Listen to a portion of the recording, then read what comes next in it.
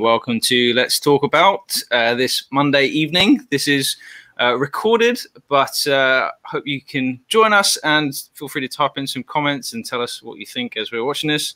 We're going to be talking about Ramadan and Eid.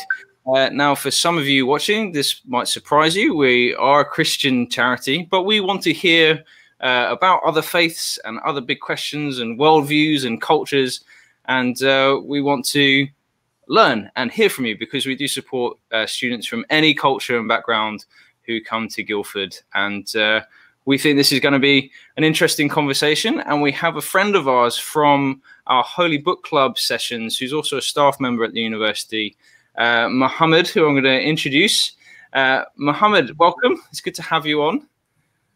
Hi. Yeah, it's very good to see you too, uh, uh Phil. And thank you very much for inviting me for this. No worries. Yeah, yeah no, we have we have such a good time chatting at the Holy Book Club that it'd be great just to. We thought it'd be great just to hear about Ramadan and the the various things that uh, you do around Ramadan. Uh, partly because I'm I am slightly ignorant of the festival, other than I know it's about fasting and a, a big community thing. Uh, so just be really good to, to hear about that. But before before that, who who are you, Mohamed, and uh, what's your background, and um, what do you do at the university? Yeah, my name is Mohamed Ragab, and uh, I'm a staff member, as you mentioned, at the University of Surrey, and I have been working at the university for the last uh, six years now. Uh, currently, I'm student mobility coordinator. So I look after the outgoing students, the students who go on exchange to another university. In uh, we have like hundred partner universities in Europe, in Australia, in New Zealand, in America, in Canada. Uh, so students go to these uh, universities in normal times after mm-hmm. lockdown and uh, when traveling is allowed. Some students are allowed to do it uh, online and some are not. That's that's what I, what, what I'm, I'm, doing at the at the moment at the university. And uh, in terms of background, I'm Egyptian, and I moved to the to, to the UK about six years ago as well. So I joined the university three months or four months after I came here, uh, and I'm Muslim, and uh, yeah, and uh, I, I'm, I'm very privileged actually that I met you guys uh, in the Holy Book uh, Club. It was a coincidence that uh, the invitation came across very, very brief or very briefly, and I accepted the invitation just to come and see what's happening. And since the since that uh, the beginning, uh, I don't think I have missed a lot of the meetings, maybe mm. once or twice, and I like it. Yep. It's yep. a very big learning journey to know about yep. the different faiths. Absolutely. No, it's been so good to to hear and uh, hearing you recite as well because you recite the Quran, uh, and uh, it's been a new experience for for me. And also hearing from Rabbi Alex as well, and and sharing the Jewish uh, faith and and having sometimes uh, I wouldn't say heated, but quite it can be quite intense discussion because we disagree uh, on various things, and um, that's okay. we can still be friends and discuss this, and I, I really appreciate that and uh, and, and so today is just really a, a, conversation and to find out about what you believe uh, and what you do around Ramadan, uh, which is coming up soon. So when, when does Ramadan actually start? Yeah, Monday is supposed to be the 29th of this current lunar month. And the lunar month can be either 29 or 30 days. So the right. beginning of Ramadan is between Tuesday and Wednesday. So we we have to follow these uh, uh, calendars. Uh, in the old days, it used to be like someone goes in the highest mountain of the village or the town, and they see the birth of the new of the new moon, and they come down, and they have to be like uh, good behaving people, good religious people, and people believe in them but nowadays you know technology and uh, telescopes and all of these mm-hmm. things so we, we we definitely use these uh, uh, technologies so according to the the new technologies yeah it should be between the tuesday and wednesday the beginning of the ramadan so you're not going to go up on the mount and, and have a look for the moon. it's cold, actually. It's, it's, it's, it's too cold. because for, the, for, those not in Guildford yet, the, the high, one of the highest points around Guildford is called the Mount, and you, you get a really nice view over Guildford uh, on both sides of the Mount. And uh, yeah, when you when you visit Guildford, we, we do a few walks up there. Okay, good. um, have you been up the Mount yet? Yourself? I don't think I I don't think I have uh, been to the Mount before. Oh no! Oh, well, we'll, yeah. we'll, have to meet up there, and I'll, I'll show you around. Thanks. Um, that would be lovely.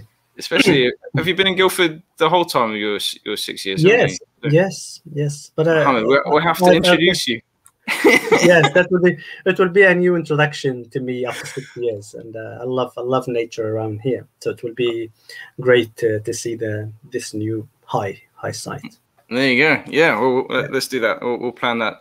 So, so we're talking about Ramadan starting, but let's go back a little bit. What what is Ramadan? Uh, what, what was the history behind it, and and why is it so important? Yeah, it's it's important uh, in terms of history. According to Quran, we the Quran mentions that fasting as a fasting uh, has been has been uh, ordered by God, by Allah subhanahu wa ta'ala, to all the nations before us. So it's not something new. I think you guys uh, in Christianity, you have fasting, mm-hmm. the Jews fast, and we believe that fasting is a command from God uh, to all nations. So Muslims having this one also from from uh, God as how all the nations before us have been uh, ordered to fast.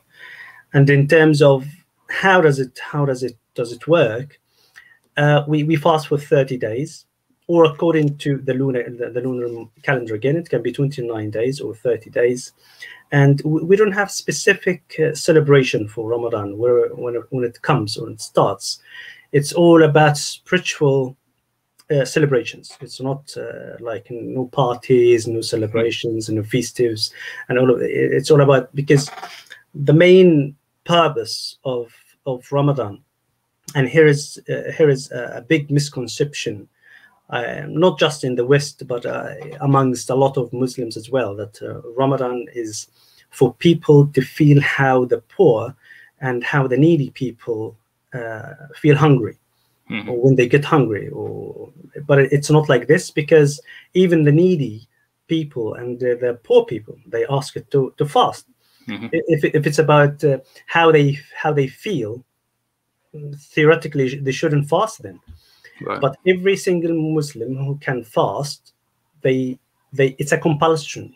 It's a compulsory uh, thing. It's, it's not an option, except if someone can't do it. Uh, someone is uh, sick, someone is old, someone is pregnant, uh, someone takes medication and they must take this medication, otherwise they're gonna die. Hmm. So these are the, the, the very few uh, exceptions that uh, otherwise anyone every single person man woman child uh, adult they can do the from the dawn time to the sunset time fasting they must do it and right.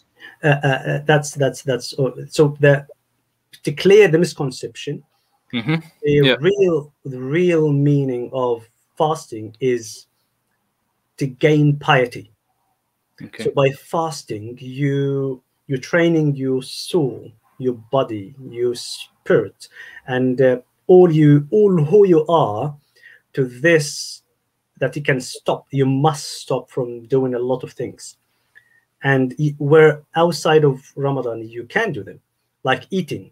You have to stop from that from the dawn time to the sunset time. After, outside of Ramadan, you can eat anything and everything except of the things that are forbidden.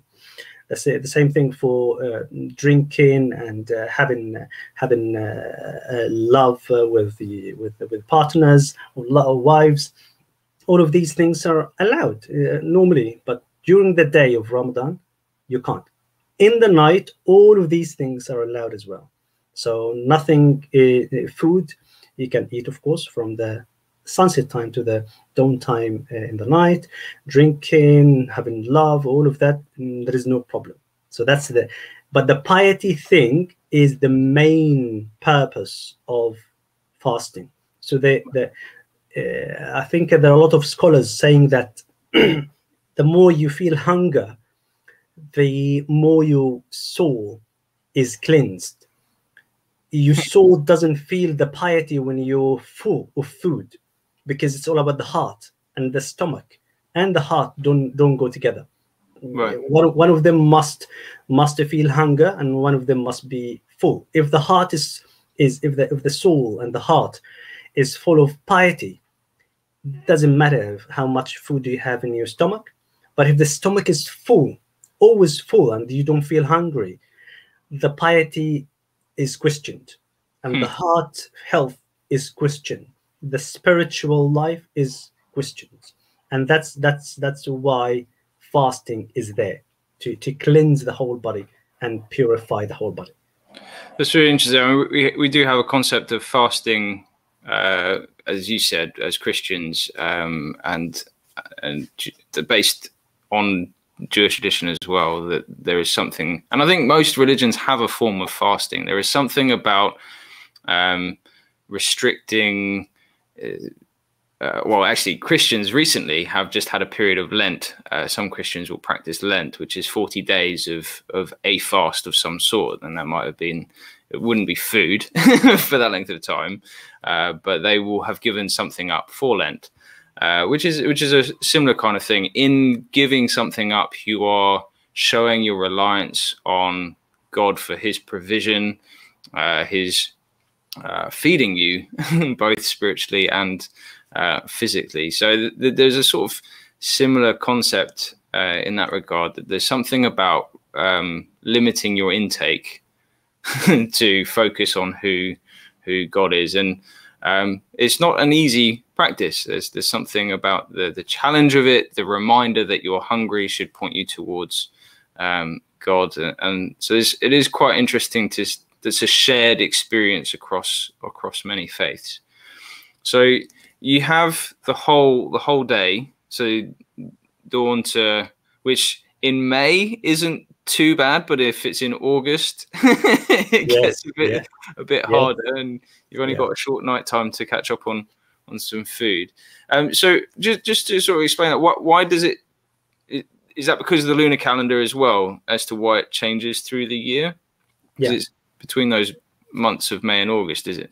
Yeah every every month every year you have 11 days less because because because of the ca- the calendar has changed and, and different the different uh, length of the month.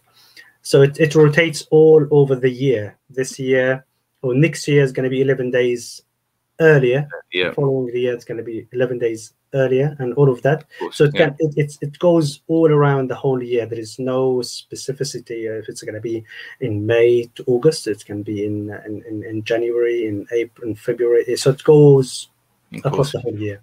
Yeah, and and so that's that's why Ramadan is it specific to anything that Muhammad did? What is it specifically about Ramadan um, in connection to why why is it that month? Um, does the name mean anything? it, it, it the name doesn't mean anything because it, it the the month was named before before prophet muhammad so the, the month Right, the, names of the months uh, Right. So, that, so Ramadan is the name of the month. Is that? yes Oh, okay. I didn't realize yeah that. the, in, in arabic the, the lunar calendar is 12 months as well Right. And that ninth month month is ramadan so Oh, that okay. month was existing with the name even before prophet muhammad has been uh, uh, sent as a, as a prophet but uh, uh, allah uh, uh, dedicated or decided that this is going to be the month of Fasting.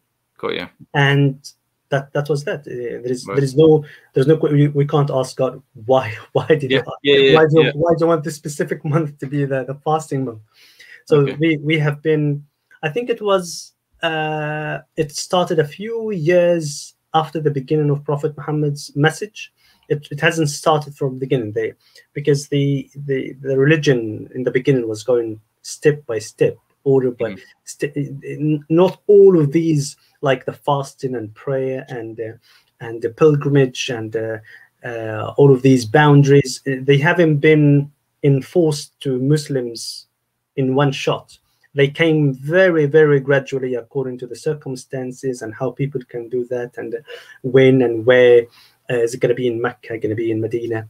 So Mm. fasting, I think it has been a few years after the beginning of the message of uh, Prophet Muhammad. And then once the surah, uh, the, the Quran said, said that Allah subhanahu wa ta'ala is asking all of you Muslims to fast this month of Ramadan uh, every year and every single person except if someone can't, Mhm. that's done. There is no question. There you go. So Yeah. the- yeah. No, that makes, does make sense. So, okay, so you've got this this whole month. I've, I've heard that in connection with Ramadan, you've got this uh, festival of Eid. Um, what, what what is Eid, and how is that connected to to Ramadan? Yeah, uh, Eid, Muslims in general, we only have two feasts. We don't have many many festival days. Only only two days. The first one is the first day of the new month after Ramadan, and this is we call it the Eid al-Fitr or al-Fitr Eid, and al-Fitr means breaking the fast. Okay. So that's that's. Uh, people celebrate or Allah Allah has uh, has uh, uh, gave us or gave Muslims this day to celebrate uh, the conclusion or the concluding or finishing the fasting of the whole month so that the people can can celebrate and uh, enjoy a day of like food and uh, meeting each other gatherings and uh, whatever is, is, is available and uh, permissible uh, on that day. And the second day is the sacrifice day, which is about two months and uh, 10 days after this, this day. And uh, it is the culmination of the pilgrimage, the journey to Mecca. So that, and also we celebrate the, the day that uh, Prophet Abraham, Abraham uh, was asked to slaughter his son, uh, Mhm. Ishmael. Yep. And God and uh, God saved him with a ram. Mhm. So Abraham is the father of, of all prophets, and uh, Ishmael is the father of Prophet Muhammad because Prophet Muhammad comes from this uh, from this chain from this side because you know he it was it was uh, Ibra- Ishmael and Isaac, Mm. and Isaac is the father of the Jews, and Ishmael is the father of the Arabs. Right. Okay. So uh, uh, that's why we celebrate that day that the, the father of all the Arabs and all and Prophet Muhammad has been saved and rescued at the time. It's, it's an argument, I think, between Mhm. Jews and and Muslims who was the one that was uh, meant to be sacrificed. The, Yeah, the, Jews. it'd be Isaac for. Yeah, I think the Jews yeah. believe it was Isaac. Mhm. Muslims believe that it was uh, Ishmael. Ishmael. Interesting. I, I'd not realised there was a difference in that story there. So that, that's an interesting. Maybe that's another conversation for us. Yes. Book Club. That's a that's a good one. yes, it's it's it's an interesting differentiation between the two days. So that Right. day, that second day, the sacrifice day, is also a day of celebration, Right. and those who can who can sacrifice uh, a ram, can sacrifice a goat, uh, sacrifice a cow, buffalo, camel, they can do this. But if someone can't afford buying this uh, this uh, sacrifice, there is no problem at all. It's not Right. it's not a problem. It's Yeah. just if So they. we, these are the only two days. We no, we should we don't celebrate the day of Prophet Muhammad's birth, right. the day of or any any other days. But some some new some people, some Muslims celebrate these days, Right. but it's not allowed. We- We only follow Prophet Muhammad's celebrations and how did he celebrate and what did he ask us to celebrate. And he didn't ask us to celebrate his day, his birthday. Right. He, he himself, he said that I celebrate my birthday by fasting. So Right. every single week he used to fast Monday because he was born in a month on a Monday. So every every week he used to, to fast Monday and Thursday. So Monday, Wow. and and we we also some a lot of people take this as um, as an example. So Monday, the birth of Prophet Muhammad, every week is celebrated by fasting, Right.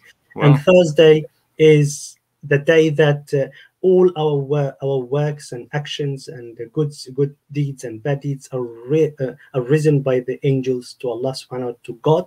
So Prophet Muhammad said that I love my works to be risen to God and while I'm, I'm fasting. So that's Right. why he used to fast Thursday and and Monday. That's really interesting. I, I, didn't, I, didn't, realize that. Is that something you practice, or is that something that just some some Muslims do? Yeah, it's it's not compulsory. Right. this is not a compulsory thing. It's like an, an additional uh, practice. Right. I from time to time I do the Monday and Thursday. Right. But not. I should do it as as regularly as as possible mm-hmm. because it's it's a lot of reward. Mm. But uh, yeah, no, I'm, I'm, not. I'm not very good with, with It's a lot of a lot of uh, fasting. There's a lot of fasting. It, yeah, and it, it needs a lot of dedication. Yeah, a lot of dedication. So hopefully one day soon I can I can I can do it every week. Wow. Yeah, no, that'd be, that'd be interesting. Yeah. So okay, so you got Eid, and then so during uh, Ramadan itself, when it gets to the evening, is that quite a uh, social event? Um, it, like, what, how, do you break the fast in the evenings during Ramadan with family, or is it just uh, you eat and you wait for Eid to be the the real celebration? Or you know, life is very normal in Ramadan. There is no right. kind of the word celebration is is actually uh, not a normal word in terms right. when we relate it. No, no, not not not because you're using it, uh, but I mean even for us, it, it's not celebration. It's uh, it's actually it makes the the, the the, the sunset time makes us anxious more than celebrating the fast, the breaking the fast, because we don't know how did we do the day. Did we fast well? Did we follow all the guidelines? Did we uh, uh, control our, our eyes? Did we control our tongue? Did we control our stomach? Did we control our nose? Did we control our thoughts? Because even the thoughts, you, you have you have to be uh, aware how, how how how you're thinking about things. What mm. what are your eyes looking at? What are you saying? Even e- every single word counts not just in ramadan but outside of ramadan but in ramadan is is more we need to be more cautious right. very careful. So no bad, no backbiting, no slow, no no no no no no, bad words at all. Uh, no lying, no raising voices. It you must tolerate and uh, be as moderate as possible. So by the end of the day, normally we should be anxious to see how we did. It's like the result of the day. Did right. you win? Did you, did you did you pass? Well, it hasn't passed. We don't know, of course. We will only gonna know in the judgment day. Hmm. But that's that gives us hope that the next day, and I, I can remember uh, what I have done today. I spoke to uh, this man, and I didn't uh, treat him well, or I said something bad, or I thought about something badly. Tomorrow I should be much better. So I need right. to to behave. So uh, that, but in terms of celebration, we just when we come to the sunset time, we eat. start eating as normal, drinking as normal, and we do the prayer. But we shouldn't eat that that much because in Ramadan we do extra prayers mm-hmm. in the night. So if okay. you eat too much, your stomach is full. You're not just gonna go sleep. Yeah, that's not what is what. That's not the point of it. Yes. So it's not uh, food celebrations. It's, yeah. it's still it keeps going spiritually even after the sunset time the spirituality right. of fasting doesn't stop. Yeah. Well, it has to be uh, uh, there. The thought of fasting should be there, even if while you're eating. Right. That's yeah. Uh, that's quite interesting that it, it continues overnight, even while you're eating, and the uh, the desire to be good and the desire to to do good and and challenge yourself. I, I find it interesting you use the word anxious about that. It's not a, a, a feeling I would have um, anticipated on that one. Um, it's, it's, really interesting. I, I, had a friend at university who, who was a Muslim, and I was quite curious, as I am now, about what he believed. And uh, all the answers you're giving me now, he, he didn't. He, he didn't actually know. He just said, oh, "I'm a Muslim. I just do it. I'll find out later. I just I've got to focus on my on my course." So this has been a really interesting conversation. So I really appreciate uh, you so, so sorry to interrupt. It, it, it, we we we always ask to seek knowledge mm. related to what we're doing. It's not just you do it because you are asked to do it. Yeah. Yes, definitely we, we ask to do everything and we sh- but there are reasons in, in some things and there are mm. outcomes of doing this. So rather it, it makes it, it makes you doing it more passionately if you know mm. why you're doing this and what are the outcomes of doing this and and that anxious the, the word anxious actually it, it, I just thought about it right now while we're talking, because each each every single day can be a, a test, Mhm. and the sunset time where you're going to break the fasting is the result, where the result is going to be revealed for you. So you and and you are the only one who puts your results. So you you need to you you can go "Ah, okay. Do I think I did well? Hmm. Was the day successful? How can I uh, uh, evaluate my fasting today? Do I, did, so you are It's quite reflective. Oh, yes, you are the only reflective person on yourself, Okay. and that's why you do. That's why it is. It's a relation between you and God. Nobody and fasting actually. That's actually takes that takes me to the to the next to the another very very important related to fasting. Fasting is one of these practices between you and God. Hmm. Nobody else can see you while you're fasting because if I'm in a room here by myself, I can eat, drink, watch whatever on on on on, on, on online, say whatever uh, online, but God is watching you even everywhere. So that's why that anxiety is is needed every single day by the end of the day. So you need to be honest, truthful to yourself as how you get it because this is going to lead to be how you're going to be truthful and you and and and uh, to God. So that's why oh Yeah. tomorrow I shouldn't I shouldn't do this. I have to remember. That's really helpful. No, that's, that's really interesting. So, just a, a couple more questions. I realise we've almost talked for half an hour already, which is goes it's so fast. Lots of things. Oh, the, the, the next couple of things are, are really more a little bit of practicality and um, over the last year, sort of reflecting on uh, how how uh, lockdown has impacted. I mean, for, for Christians, it's impacted churches We're not able to meet, or so, some are, or they have they have been in the last lockdown, but in the first lockdown they weren't. Um, Ramadan last year was right in the middle of one of the lockdowns, wasn't it? Yes. It yes. was. So, how did how did lockdown affect last year, and how how is it is it going to affect Ramadan this year, or should things be opened up by this I time? I haven't I haven't received uh, because we, we we received newsletters from the Islamic Society at the University of Surrey, uh, a Mm. group of uh, volunteering students uh, uh, headed by uh, Dr. Husni, and uh, we haven't I haven't heard what what's going to happen. But if the regulations will continue as how they are now, it will affect our our night prayers because after sunset we we go for a collective prayer every night and that can be from about it lasts for about two hours. And that's like a, a, a congregation every every night in Wow. the in the university. But if we can't meet with this one people can do can do it uh, at home uh, individually. So this is one of the one of the uh, bad effects of lockdown in terms of ramadan for muslims. Mm. and the second one is the the the, the celebration not the the fast the breaking breaking the fasting collectively as well. The university or at the university we hold breakfast for a number of students and uh, people come from around guildford to, to eat together because eating together is is is, is good.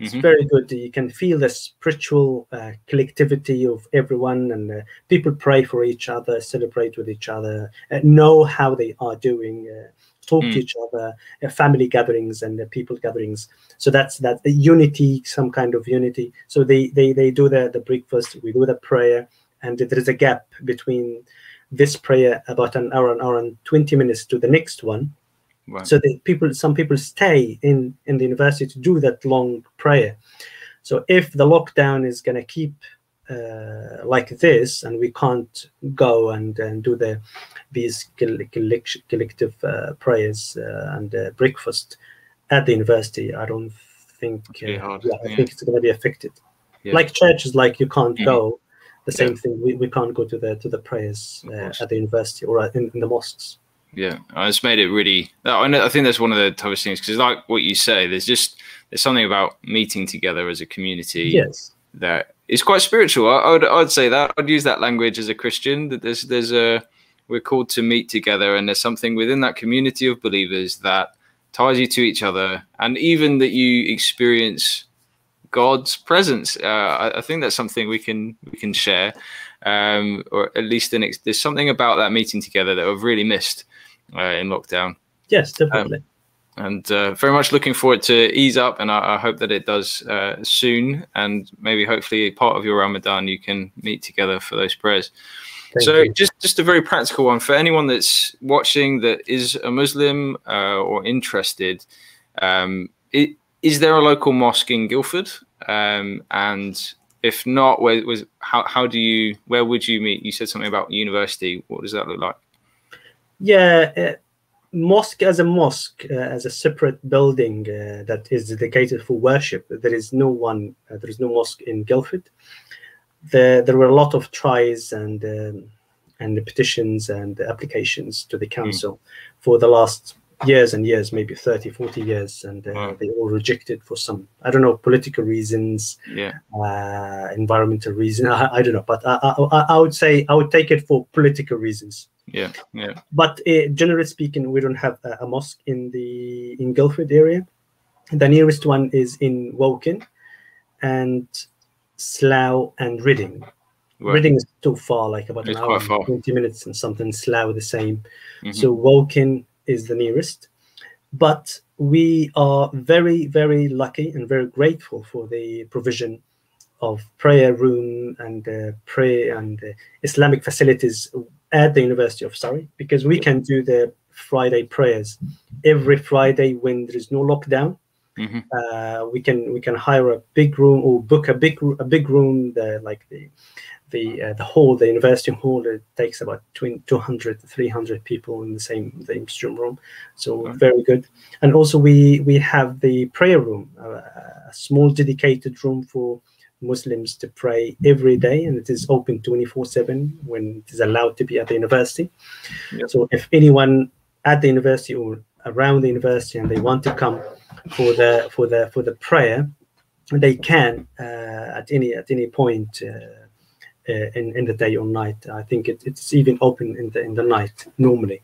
Yeah. Uh, the Friday prayers when it's when there is no lockdown, they can come at the university and uh, they can join actually the Surrey Islamic Society uh, mm-hmm. newsletters, so they can receive the monthly calendar, uh, all updates related to Muslims in Guildford and around.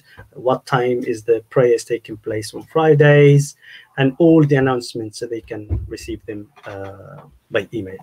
That's great. No, I really appreciate that. There's um, also I know that Dr. Husni from the chaplaincy team he does his Friday sermons, doesn't he, on the Students Union page. So if you're interested and, and not yet here in Guildford, do go onto the University of Surrey Student Union page and you'll find a very active chaplaincy, uh, which is the, the is the, the well-being and faith group on campus where we support people of faith all faiths and and none. Uh, we, have got a good group there. So, uh, Mohamed, just thank you so much. I noticed that you've uh, got company in your room now. so yes, you can't stop. You can't stop the little ones intruding into your room. we've, we've, clearly gone too long. He's impatient to see his dad. So, um, well, it's such a pleasure to speak to you as always. And uh, speak to you I'll, too. I'll end the recording now. I'll just close up on a, a few little notices. So, thank you for watching. Uh, if you're interested in anything to do with the chaplaincy, please do get in touch. Um, you can find us on uh, My Surrey if you're part of the student body.